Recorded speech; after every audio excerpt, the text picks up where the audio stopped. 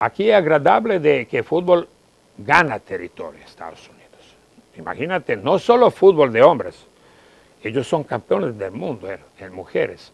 Y hay más mujeres que entrenan fútbol casi que hombres. Y entonces, eso son es una selección muy seria, muy acoplada ahora. Se sintieron, no cambia nada. Entonces, mira, Estados Unidos, yo como entrenador, mira, gané. Yo tenía oferta para estar su entrenador y todo lo que pasa, tenía contrato, no podría. Lo respeto muchísimo, pero yo creo en, Ecuador. Yo creo que podemos ganarlos y tenemos que ganar, ¿sabes?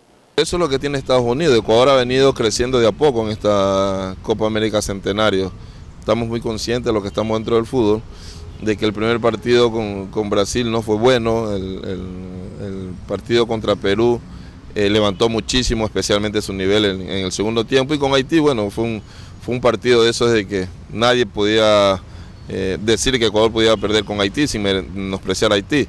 Y salí, salimos ganando, ¿no? Salimos ganando 4-0. Ahora toca un rival muy difícil, eh, que dentro de las posibilidades creíamos nosotros que podía ser Colombia y no, no, Estados Unidos, pero ya lo tenemos allí y hay que hacerlo bien, o sea, hay que recopilar lo que se hizo bien el partido Brasil, Perú, Haití, para ponerlo de manifiesto contra Estados Unidos y poder pasar a la otra etapa.